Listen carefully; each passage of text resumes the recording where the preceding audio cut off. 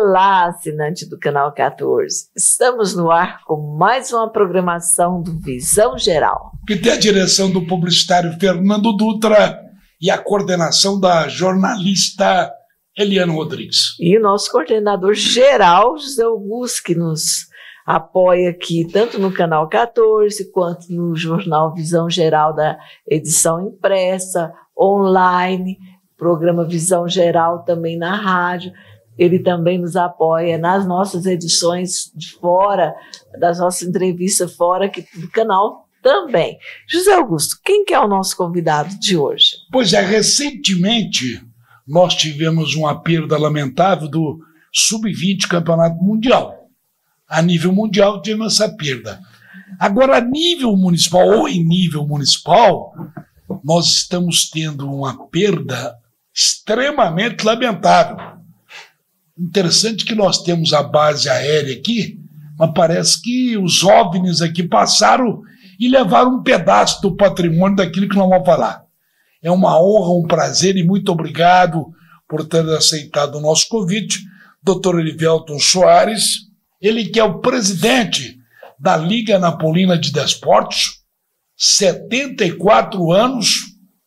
Cadê a cobertura, presidente? Bom, seja bem-vindo é uma resposta que eu ainda não consegui encontrá-la, viu? Até hoje, já estou indo aí para um ano que estou à frente da liga e não sei. E não deixaram nem destroços, né? Deixaram, não, levaram tudo. E nem o DNA de quem nada, levou? Nada, nada, nada. Quer dizer que agora é pior, viu, Não sei se você teve lá, eu tive lá fazendo a matéria para o Jornal Visão. Agora, se eu não entendo nada de engenharia, o doutor, doutor Elivelto Soares, mas agora é muito pior, tem que fazer a fundação, tem que ir lá embaixo é o custo agora é bem maior, né, Os que agora Nossa. tem que trazer essa fundação lá de baixo. Antes era da própria arquibancada, né, ali aquelas sapatas, e ao retirar a estrutura eles serraram. E pior, ainda deixaram ali uns 10, 15 é centímetros, verdade. que é, que é para os meninos chutarem. Perigoso. É, muito perigoso. Um acidente ali, um menino brincando, corre, ele cai ali, bate a cabeça ou o abdômen, Deus tem consequências. Perigosíssimo. Grave, muito grave.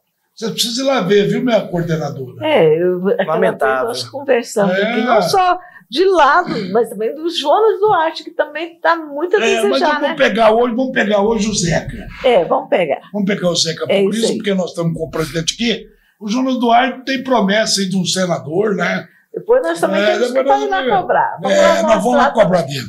O, o, o presidente Elivelto, o que é. Mas, meu Deus, eu fico pensando o seguinte, sabe? Para que quer cortar aquela, aquela, aquela cobertura? Então, pelo, pelo que eu ouvi dizer, é que com a ventania, aquelas telhas que lá existiam eram aquelas telhas muito pesadas, né? De, de, de, zinco, não sei. Não, não zinco, era um material que eu, eu não me recordo o nome. Acho que era fibra amianto, se não tiver Isso, é aquela de caixa d'água, parece naquele sentido, é ela mesmo. E então, com a ventania lá, é, é, cedeu um pouco da estrutura, da cobertura. E aí, não sei quem achou por bem arrancar tudo. Ao meu ver, né, diante da minha leiguice na, na, nessa questão de, de engenharia, acho que era mais fácil retirar as telhas e colocar ali uma cobertura de, de, de isopor, dessas, dessas telhas aí tecnológicas que existem. Inclusive, tem fábrica em Anápolis, né? Então, pois é, eu até entendo que o Tico e o Teco, que o meu às vezes não funciona, mas desse pessoal não funcionou de jeito nenhum. É meu Deus, cortar era mais fácil, revitalizar, recuperar. Recuperar, com certeza. Não é isso? Com certeza. Quer dizer, hoje o cidadão vai lá assistir os jogos do Campeonato Amador, que está sendo realizado na cidade de Anápolis com 11 equipes. Ele pega o sol ali, quando tinha chuva era chuva, um absurdo, uma vergonha. Eu vou assim dizer uma vergonha, ou estou exagerando, presidente? Não, é nessa linha mesmo. É nessa linha. nessa linha. Mas ninguém fala nada. Não, não se tem conhecimento de nada, ninguém fala nada, ninguém viu. Ninguém sabe. Ninguém sabe. E, assim. Mas não fala em recuperar. Recuperar ali vai ser complicado, hein, presidente? Ali é, é reconstruir, né? Recuperar já não recupera mais. É verdade. É, tem que reconstruir. Desculpa, pode terminar? Não, só é, ali vai ter que fazer tudo de novo, novamente. A questão do telhado, sim. O, o estádio é uma reforma, mas a questão do telhado vai ter que fazer novamente. Quer dizer, um baita de um prejuízo que poderia ter sido. Corria risco que lá estava ou o senhor não sabe? Não, não sei dizer, não sei dizer. Mas, Mas se tivesse, isso, se tivesse agido assim com maior celeridade, é acho verdade. que não teria nenhum risco. É Qual a idade mesmo lá do estádio? Vocês falaram aqui 74 no início, anos completa esse ano. É esse ano. E, e, o senhor quanto tempo na frente da presidência? Um ano. Um ano. É. O senhor já procurou alguma ajuda nos no município. Alguma autoridade, autoridade, autoridade, é, falou autoridade. ou dentro é federal. É, então, é, a gente está tentando agora contato com, com alguns deputados estaduais. Né, temos algumas, algumas é, agendas aí para esse mês, com um ou dois. É, vereador, teve um que se propôs e está tentando me ajudar também. Mas é só isso aí. Do, do mais. E o executivo municipal? Não, o executivo nunca me recebeu, nunca consegui é, uma agenda com ele. Mesmo? Nunca consegui. Até será, hoje não. Será que ele sabe da situação do Estado ou não sabe também? É, ele esteve lá quando no início ah. do campeonato amador do ano passado. Aí tem um lanchinho lá na frente e ele tava. Inclusive gravaram lá, ele mandou um, um vídeo aqui no grupo, tomando conhecimento né, da, do, da situação, e naquela oportunidade ele disse que, que estaria dando atenção aí pro, pro Zeca. E a gente está aguardando. Seu Augusto, nós temos, é, inclusive, a gente podia fazer até assim um, uma reunião, né, quando for fazer um convite, né, para aquele candidato a senador que prometeu, né, é pra, Aliás, ele falou do Zeca Pugliese nós também. Nós falamos também sobre, é, é, verdade. nós falamos. Está na hora de fazer é assim, uma uma pinguelinha, né, que fala, uma vamos usar um, um linguajar mais, mais humilde. Unir as pontas. É, é verdade, unir as pontas. Ó, tá na hora. Vamos, vamos ver com ele. Vamos convidar, o nosso é, o, é, suplente, né, a Senado. Será, será que ele vem aqui depois? Com certeza. Ah, a gente tem que fazer um convite, né? E convidá-lo também, né? O, é o Hélio, né? É. é. É, é o Hélio, é o Hélio. O Hélio, é, o Hélio mas o, o, o, senador Wilder, Moraes, que veio aqui, ele falou eu isso. Eu ouvi parte gente. dessa entrevista, eu ouvi. Pois é, e a gente vai fazer isso. Vamos fazer uma, assim, uma, uma ponte, né? Uma ponte para ver se dá tudo Seria certo. ótimo. Porque tá na hora, né? É, porque quem ganha é a cidade, a né? Cidade. É, sem é porque, na verdade, é, é, teve um fato curioso, e aí eu não vou citar nomes, acho que o meu, meu objetivo não é esse, mas uma certa um certo vereador se reuniu e disse que não irá me ajudar, até porque ele acha que isso é para mim, não é para mim, já começa o erro por aí. É, reuniu com bastante pessoas, dirigentes de clubes, e disse que não tem como me ajudar porque eu não caminhei com ele politicamente. E somente ajudará se porventura eu me retirar da frente da. da... Que maravilha! Então, Parabéns. ou seja, você é, é, votado, né, passa por todo um processo eleitoral legal, e aí vem o Poder Legislativo, através de uma pessoa, não vou citar nomes, querendo interferir diretamente e dizer que não vai ajudar, porque eu não caminhei politicamente. Aí eu fico pensando, mas essa pessoa então é governa é para um.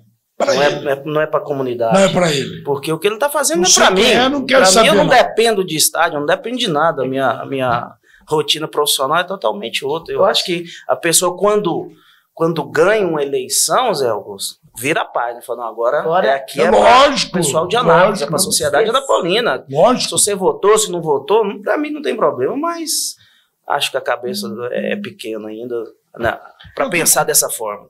Lamentável. É lamentável. Eu fico pensando, deixa eu falar igual falou um compadre aqui. É um baita patrimônio esportivo, cultural, social da cidade de Anápolis, abandonado, jogado às traças. Ninguém move nada, ninguém sabe o que aconteceu. Eu até fico pensando que foi um OVNI que passou ali e levou aquele.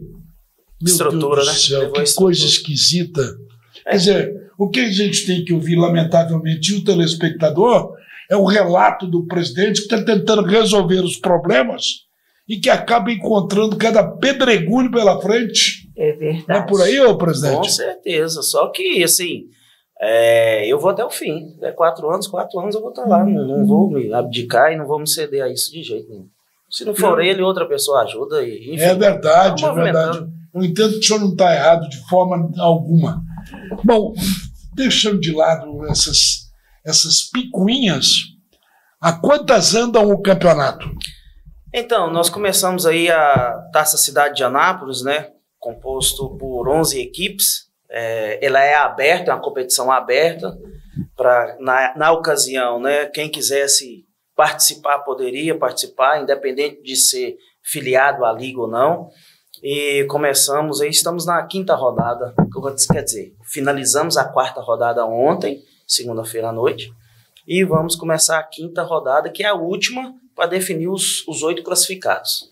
O que eu acho interessante, presidente, nós estamos conversando com o doutor Olivelton, Olivelton Soares, ele que é advogado, gosta de futebol, pratica futebol e está com essa bandeira do futebol amador o que eu acho interessante, o, o presidente, é salientar o seguinte: quando o senhor tem 11 equipes, o senhor tem, parece-me, duas equipes disputando a taça Cidade de Anápolis, duas equipes de fora da cidade.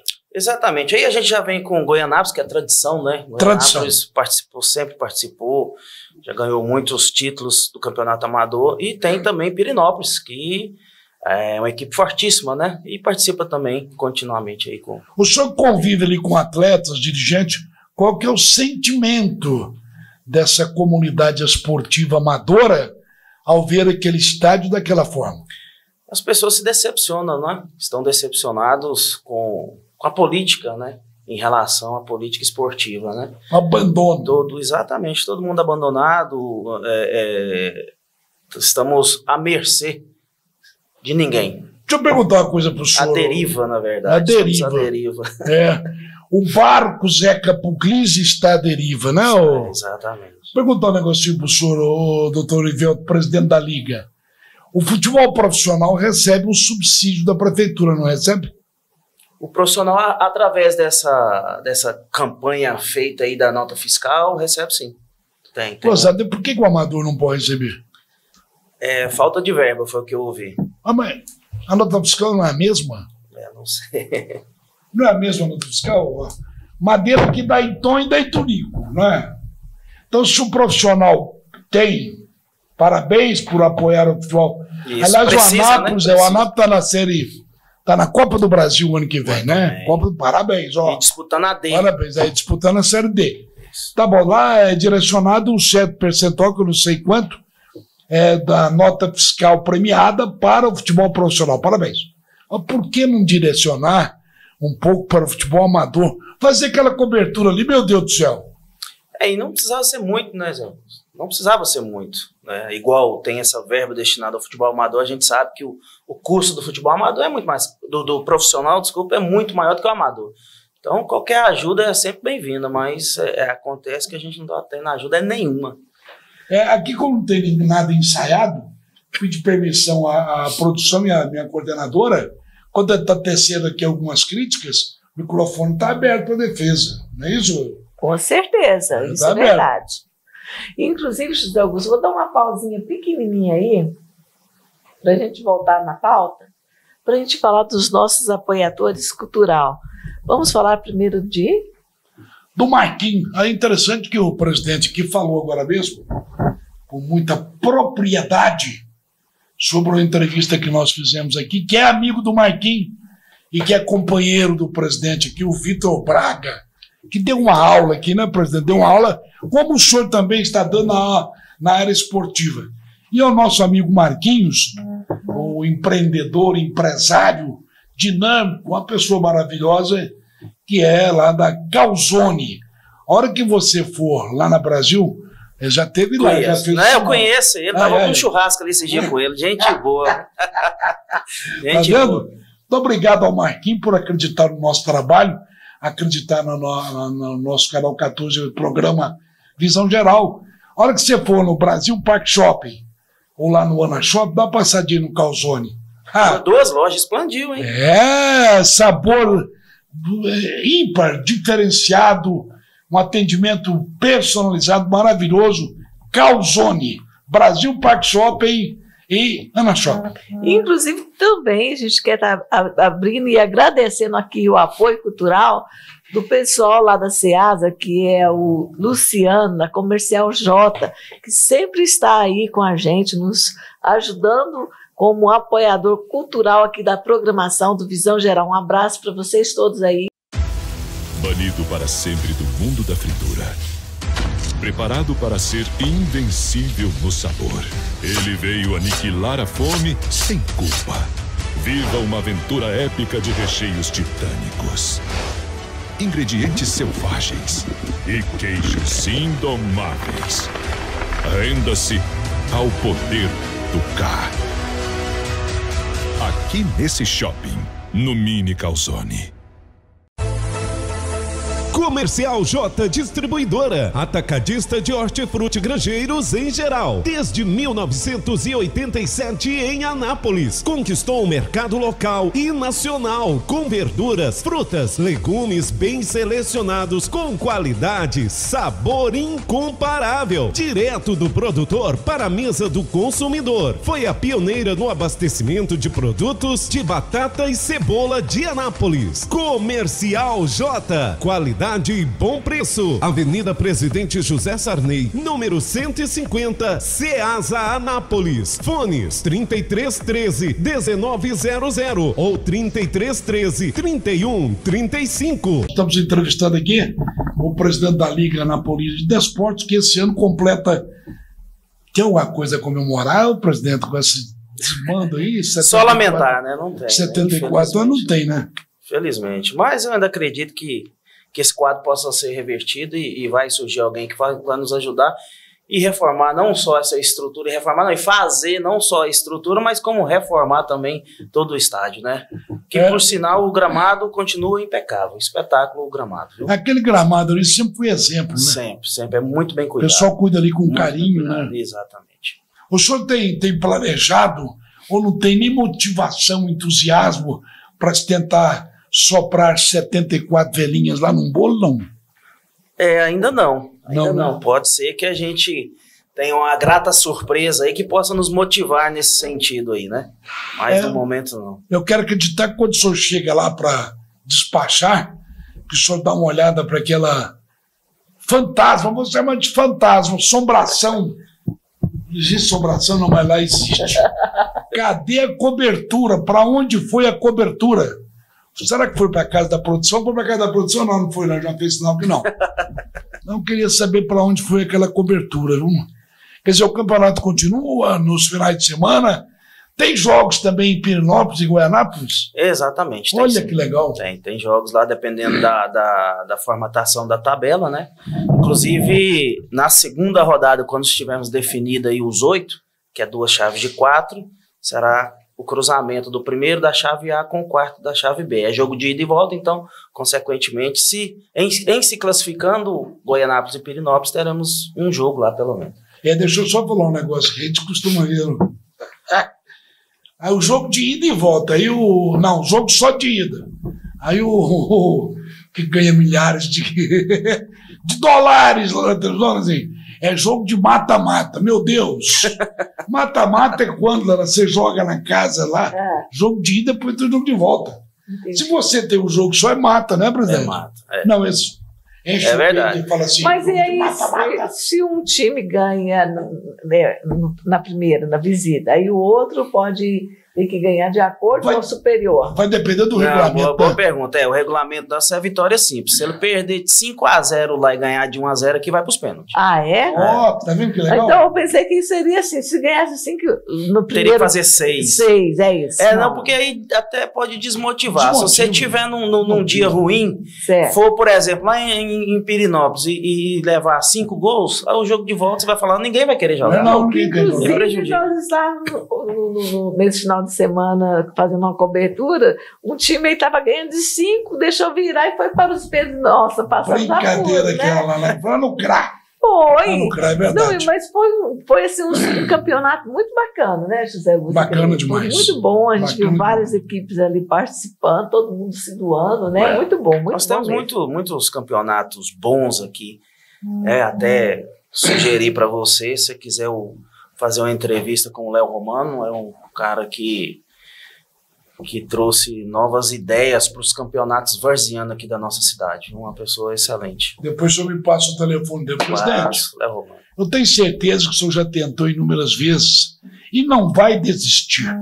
Vai continuar tentando e insistindo. Qual que é a próxima reunião com quem, por favor? É Edu, né, rapaz? Com quem que vai ser a próxima reunião? Então, Para ver se coloca uma cobertura no estádio Zeca Puglisi. Nós estamos tentando aí, já estava até agendado, já está nos, final, nos finalmente ajustando já com o Coronel Adailton, né, nesse, nesse primeiro momento. E eu fiquei de ir lá para conversar com a vereadora Andréia para ver se ela também estreita a gente aí para marcar uma agenda com a Miltinha aqui em Anápolis. É, agora, é, teve uma, uma conversa do, do presidente da Câmara, Domingos de Paula, que segundo ele é, vai tentar com os, são cinco né, deputados, quatro, quatro deputados estaduais aqui de, de, de Anápolis, É. com os- uma, uma verba aí, a, um valor de 200, 250 mil, pra, que somado vai dar em torno de 800 a 1 milhão para tentar recuperar ali aqueles... Já tem um levantamento financeiro, orçamentário, de quanto fica para. Tem que começar de, de- da infraestrutura, furar um buraco lá É, embaixo, né? Que lá, no, lá, lá no chão mesmo, lá no né? chão. Já tem uma, uma- um orçamento? Não, não, não, não tem não, que eu acredito que ele está é, é, tentando, de fato, reunir essa verba para fazer um, um- Mas eu acredito, não fica muito caro, não. Né? Porque ali são só reforma, tirando essa questão do, do, do, do telhado, da cobertura, o resto é reforma mesmo, é parte de pintura, um piso, alguma coisa, é básico. É, me ajuda aí, ô, ô, ô, minha coordenadora. É a esposa do prefeito, como é que é o nome dela? Eu esqueci. Vivian, Vivian Naves. Hamilton Filho. Filho. Coronel Edivaldo. Adailton. Ah, desculpa, o Edivaldo é meu amigo lá do colégio. é, coronel Adailton. também. E o Antônio Rodrigues, o Antônio Antônio. Gomite. Pô, não é possível que os quatro, se cada um É. destinar uma verbinha, dá pra. Né? E tem verba para isso, né? Tem verba, né? Tem, tem verba. Verbas impositivas, né? Tá faltando vontade política, não. Acredito que tudo se resume nisso. Você tem Querer. fotos de lá para a gente já jogar aqui no nosso telão. Se você tiver algumas fotos, você pode passar para a gente da situação que está lá. ó, Você pode atuar, atualizar, quer dizer, atualizar. atualizar. O senhor não tem nenhum. Olha que pergunta cretina, hein? O senhor não tem nenhuma foto lá, presidente, da motosserra cortando a. Aê, José, É, José Augusto, eu tô falando não é da na- minha época. É. Darlan já passou ali, a- De novo! já passou aqui uns minutinhos. Mas antes eu queria só encerrar. Quando termina esse campeonato mesmo? Nós falamos Tem- sobre isso? Não, falamos, não. Vai terminar na segunda semana de julho, salvo engano.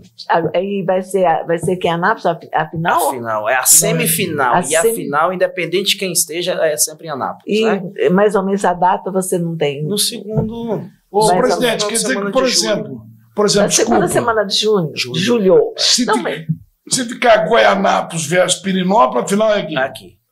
Olha que interessante. É bom aqui, porque pra a taça divulgar, cidade de né? Anápolis, É, é verdade. É, no- E só vai o ser bem no tic-tac, aniversário de funciona em Anápolis, tic-tac. né? E o nosso, o nosso troféu chama Adão Elisiário, né? O Valmir Cambalhota. Então a gente está homenageando ele Ah, também. que aí. legal. É, bem já, lembrado. já tá, tava me falhando isso. que legal. essa observação, Muito né? bem Então, lembrado. E vai ser também bem no mês do aniversário de Anápolis, né? Exatamente. 16 anos de Anápolis. É, da deixa eu fazer uma conta aqui. Deixa eu ver se o tic-tac dá para fazer uma continha aqui. Raposa equipe, vamos colocar um número redondo.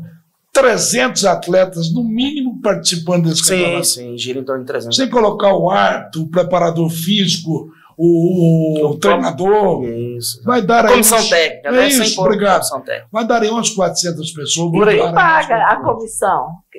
Quem que paga essa comissão? Isso hoje está sendo arcado tudo pelos próprios clubes, né? Mete a é dinheiro do bolso. É, mete a mão no bolso. Inclusive o próximo futebol amador, que está programado para a segunda quinzena de agosto, a gente está encontrando dificuldades financeiras para realizá-los. Então, aproveitando o ensejo, Os árbitros precisando Os árbitros também, por conta.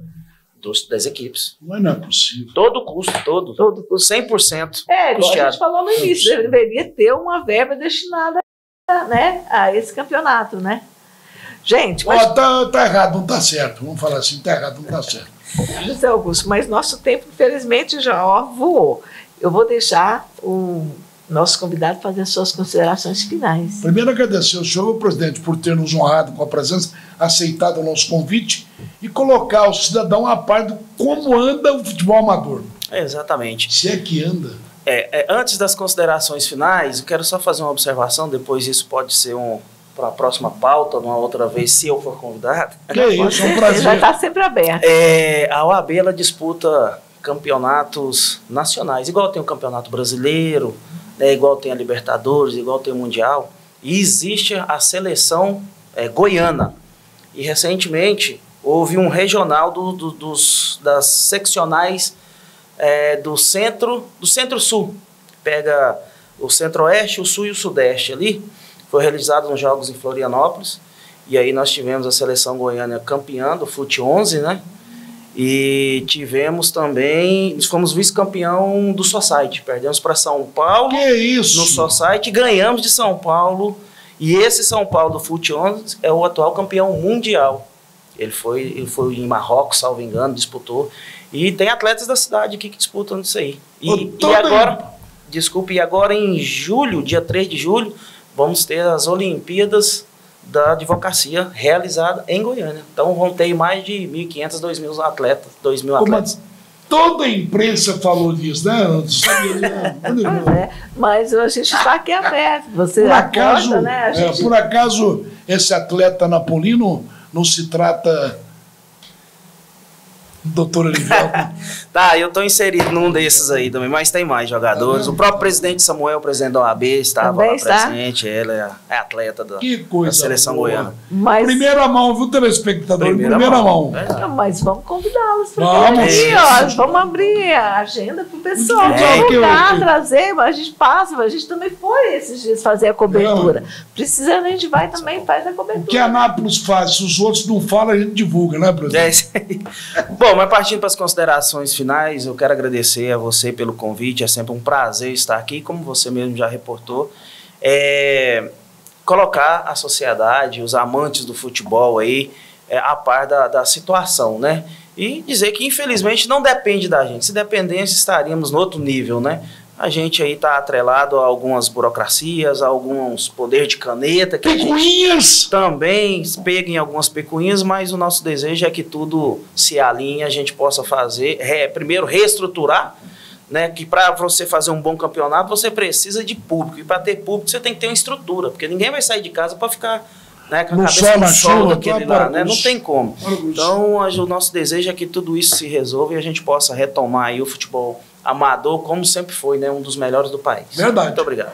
Em nome do nosso diretor-geral, agradeço imensamente a sua presença aqui e agradeço também você que nos dá a nossa audiência. Muito obrigada e até a próxima.